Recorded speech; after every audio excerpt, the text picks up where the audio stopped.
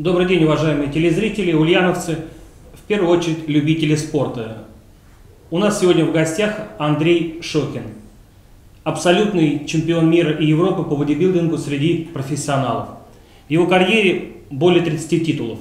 Андрей, но какой самый ценный для вас? Здравствуйте, дорогие друзья.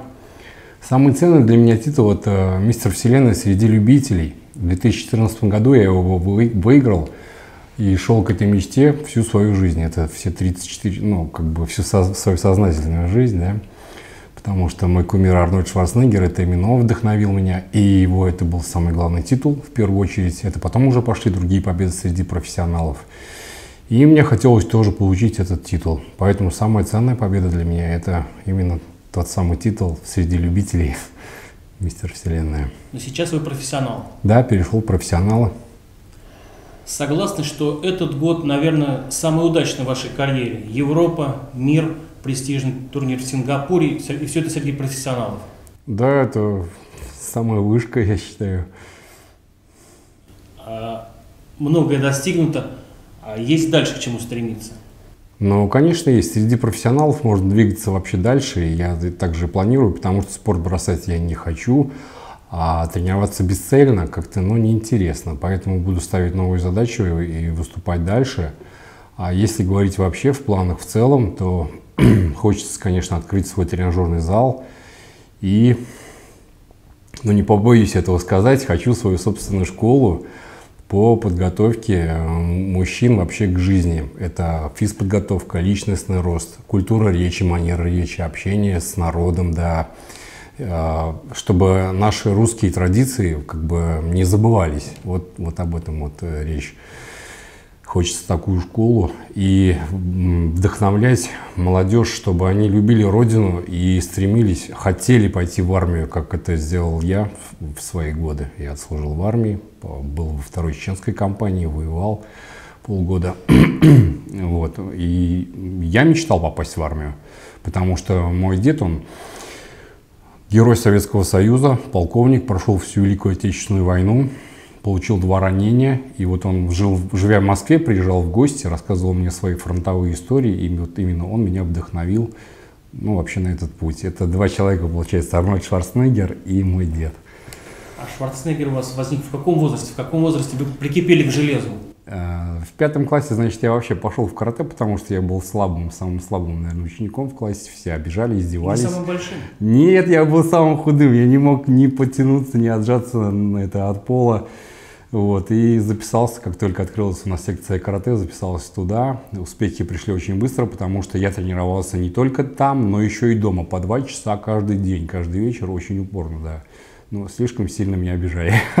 Была большая мотивация. Вот. А потом увидел, в восьмом классе увидел на экране Арнольда Шварценеггера в фильме «Терминатор». Я тогда и не знал, что такое существует вид спорта, бодибилдинг. И э, никто тоже не знал. Я в школу пришел и спрашиваю, что, что это, как это вообще достичь. Никто не знает. Но нашелся какой-то один человек, который говорит, это нужно ходить в тренажерный зал, Качал. заниматься, да. Ну тогда даже слова качалка не было. Да-да, в те времена не было такого слова как-то не помню, как его назвали. Но, в общем, зал назывался а, зал атлетической гимнастики, да.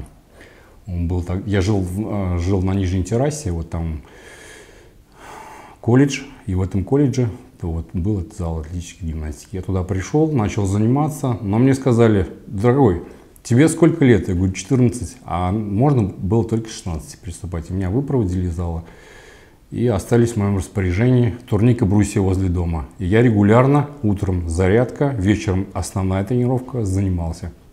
Самостоятельно? Да, самостоятельно. А потом, когда уже 16 лет исполнилось, пришел в тренажерный зал и продолжил тренировки, уже полноценные. Спустя два года ушел в армию. И интересная история, э, будучи в Чечне, когда шли боевые действия, я нашел колесо, два колеса от плуга и лом. Смастерил самодельную штангу, возил с собой, тренировался. Периоды затишья. Когда э, друзья видели это, говорили, брось это дело, типа мы все равно не выживем, ну, хоть поживи спокойно последние деньки. Ну, тогда, правда, было тяжело. У нас более 300 человек уехало, вернулось 60 живых. Вот. Несмотря на это, я никого не слушал, продолжал заниматься все крутили у виска головой, говорили, ты ненормальный. Я говорю, а я стану как Арнольд. все хихи-ха-ха, но тем не менее так и вышло.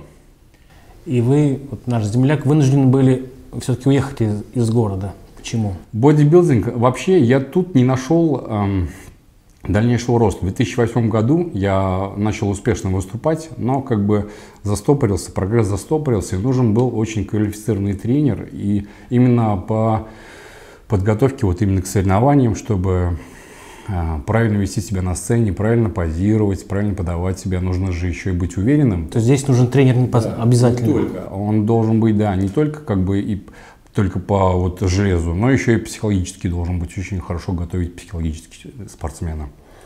И поступило предложение переехать в Екатеринбург. Кирилл Булатов меня пригласил тогда, я вот к нему уехал, целый год тренировался, учился. Как раз моя мечта еще была стать тренером. Вот, меня отучили на тренера очень успешно. И не боюсь этого слова, я сейчас являюсь... А, ну вот в Самаре мне в 2014 году дали награду «Лучший тренер года». Алекс Фитнес вручил, я ездил в Москву. Вот, так что все, все получилось. Ну, после Екатеринбурга уже Самара. Да, я вернулся в Ульяновск, здесь тут поездил по залам, но, конечно, с Екатеринбургом по сравнению э, персоналки там и здесь разительно отличались, и я прикинул, как-то ну, невыгодно очень, а в Самаре цены хорошие. Москву, вот много предложений было в Москву, там, конечно, еще лучше и зарплаты, и вообще все остальное. Но Москва как большой муравейник, если честно, мне туда не хочется из-за этого. А Самара меня устраивает. И Ульяновск близко. Я приезжаю сюда к родителям регулярно. Дочь у меня тут растет, десятилетняя. Вот ее навещаю, приезжаю. Дочь со спортом связана? Но пока еще как бы нет, она ходит в бассейн, я не спешу. А в дальнейшем, конечно, надеюсь, что смогу увести в большой спорт вот эти переезды все связаны с тем, что бодибилдинг все-таки это профессиональный бодибилдинг, дорогой вид спорта. Дорогой вид спорта, да. Ну, наверное, не дороже шайбы или там и футбол, я имею в виду. Все относительно, конечно. Но футбол, в футболе там, ну это вообще другие вещи. Тут это небо и земля тут сравнивать, как-то их, их нельзя сравнить даже. Это ведь, это можно, например, сравнить автомобиль, Запорожец и Порш. А тут вообще разные совершенно э, виды спорта, и даже сравнить-то никак не получается. Вот для того, чтобы стать таким сильным, красивым, что надо кушать, что, надо пить, что должен есть спортсмен? А, во-первых, да, правильно сбалансированное питание. Это белки, жиры, углеводы. И помимо питания должен быть полноценный отдых. Это не менее, сон не менее 9 часов. Значит, белка нужно съедать а, для хорошего мышечного роста 2 грамма белка на килограмм вес тела. Если, к примеру, человек весит 70 килограмм, значит 140 грамм белка он должен съедать. Углеводов минимум в два раза больше. Но это кому как, это все индивидуально подбирается. Вот. Из питания только здоровые продукты. Углеводы это рис, овсянка, гречка. А из белка это яйца, а, кисломолочные продукты, творог. Если удается, конечно, найти сейчас очень много уже некачественной продукции. Значит, курица, по, по возможности, конечно, грудку, потому что в грудке не так много вредных э, веществ. И индейка. Индейка, как сейчас говорят, вот в курицу уже напичкивают химикатами, а индейка умирает от химикатов, поэтому она чистит, чистая, да. Я кушаю индейку и рыбу. Но иногда яйца как-то не особо идут. Индейка, рыба, индейка, рыба. Ну вот ваше любимое блюдо – Шашлык. Шашлык. Шашлык из свинины и жареная картошка. Хотя это не, не очень здорово, но я ем это нерегулярно. Это, как говорится, по выходным, по праздникам. А в остальные дни все четко по расписанию. Все рис, курица, овсянка. Ну, то есть вы едите больше, чем обычный человек? Ну да, конечно, больше. Трехразовое питание мне не подходит. Я с голода умираю. Все два года в армии находясь, у меня уж обмен веществ был раскручен, я был привыкший. Вот не мог дожить до, от, завтрака до обеда, от обеда до ужина было тяжело, только мысли были о еде. Плюс физические нагрузки, умственные нагрузки. В армии муштровали, конечно, очень жестко. Но благодаря этому я просто такую школу прошел жизненную, что теперь мне жить намного легче, чем вот я смотрю на молодежь. Ну, блин, очень хочется эту ситуацию исправить. Я, насколько мне хватит сил, я приложу все усилия, чтобы это исправлять, чтобы мотивировать молодежь и чтобы они тренировались, питались не, вот, ну, не такой образ жизни вели, как сейчас дискотеки, компьютеры, сидение дома. лишний раз э, там пробежаться лень, в тренажерный зал лень. Нет, конечно, сейчас и мода, сейчас ходят люди в тренажерные залы, но их не так много, большинство все равно на улицах, либо дома за компьютерами. Сколько часов в день вы тренируетесь? Многие думают, что я живу в, в тренажерном зале. Это, конечно же, не так. Нагрузка должна быть лимитирована по времени, это полтора часа, но за полтора часа нужно выложиться так, чтобы потом как бы еле ноги волочить. Это только профессионального спорта касается, да, это я именно про себя говорю. Вот, 3-4 а, тренировки в неделю, не больше. Каждый день я не занимаюсь, потому что центральная нервная система тоже перегружается, ей нужен отдых. И, соответственно, сон уже 9 часов не хватает, 10, а то и 11 часов после тяжелой тренировки приходится спать. Если не досыпаю днем, о, ночью, то добавляю один час днем. А если не хочется спать? А, если не хочется... Нет, заставлять не нужно. А, спать хочется, а если не хочется спать, значит все нормально. Значит восстановление идет хорошее. Вы часто ну, не путешествуете, выезжаете на соревнования. Наверное, их много в, теч... в течение года. Э, в это время, наверное, коротаете, может быть, фильмы смотрите. Есть любимый фильм? Любимый фильм? Но мне сейчас последнего... Мне вообще нравится жанр экшен, фэнтези, мелодрамы иногда, редко комедии. Вот так. Да, люблю походы в кино, очень люблю. Нравятся фильмы сейчас вот со скалой Дуэйн Джонсон. Такой актер хороший. Если есть э, свободное время дома между тренировками, вы говорите, я должен отдыхать, чем вы занимаетесь? Есть, хо- а, есть хобби? Хобби, да. Я еще, помимо того, вчера так удивились, я рас... проводил семинар, говорю, я писатель. У всех так глаза на лоб вылезли. Я действительно хорошо пишу, я этим как бы даже, ну, не, не, как бы не хвастаюсь, это прям вот факт. Я начал писать, а, то есть до армии я очень любил читать, я читал книги различного рода. А потом э, из армии регулярно, вот каждую неделю буквально ну, пол тетради на каждое письмо мне говорят, что ты можешь там писать? Я говорю, я пишу свои мысли, свои ощущения вообще. Не просто, что я там по, по, пошел покушал, а что я чувствую, что я вообще вижу. Вот, и развивался, развивался. Вот в течение двух лет я писал письма, и в итоге писательство у меня пошло. Да, сейчас Дмитрием Сильновым, он журналист, ну, вы же его знаете, да? А, начали писать книгу обо мне. Он предложил мне не автобиографию писать, а в виде романа. Тоже на, все на фактах, но а, имена героев, ну, мое имя и его вымышленное. И когда эта книга должна, грубо говоря, выйти? Или вы ее планируете писать до... до... Ну, мы сроки конкретно не поставили, хотели бы по возможности более подробно все изложить, чтобы было интересно, но вот пока сейчас получается очень интересно. Хотим, хотим, чтобы эта книга прям ну, цепляла, не просто какая-то книжонка была, а вот она, чтобы вышла в рейтинг лучших книг. В школе вы как учились? В школе не очень хорошо. Русский литература меня очень увлекло, начиная как раз с восьмого класса. Вот когда я увидел Арнольда, все это у меня пошла мотивация не только в спорте, но я еще и начал как раз из, из стихотворений. Я вот прям лучше всех рассказывал, когда нужно было выучивать там изложение. А, начал диктанты писать по ну, все же запятые, у всех за пары-то запятые тогда были. У меня все начали списывать, а хотя все сначала там говорили Андрей там троечник, Шокин троечник, что там у него. А потом смотрю, отличники заглядывают, где там запятую поставить. Вот в восьмом классе у меня пошло полностью развитие, да. Вот русскую литературу очень полюбил, особенно литературу, потому что я много читал. Вот все-таки бодибилдинг – это больше красота и гармония, или это все-таки си, си, сила? А тут все совмещается. Почему мне и нравится этот спорт? Потому что тут и сила, и красота, и не только физическое развитие, но и духовное. Но когда этот спорт, уже в него вникаешь глубоко, не просто ходишь там фитнесом занимаешься в свободное время, а именно посвящаешь этому жизнь, как вот у меня это теперь не просто хобби, а образ жизни, то есть все связано вокруг бодибилдинга. Это позволяет развиваться не только физически, но и духовно. А, я читаю книги по личностному росту, хожу на различного рода тренинги по личному росту. Мне все это нравится, да потому что я убежден, что мы пришли вообще на эту, в эту жизнь, на планету Земля, чтобы развиваться как физически, так и духовно. И бодибилдинг – это не только строительство тела, но и строительство духа. Вот так. Тренировки профессионала очень тяжелые, изнурительные. На больничном часто бываешь? А, в последний год, слава богу, не болел практически. Ну, был, может, один раз, я и то не припомню, наверное, была легкая какая-то. Поэтому а, главное в нашем спорте это восстановление и сон.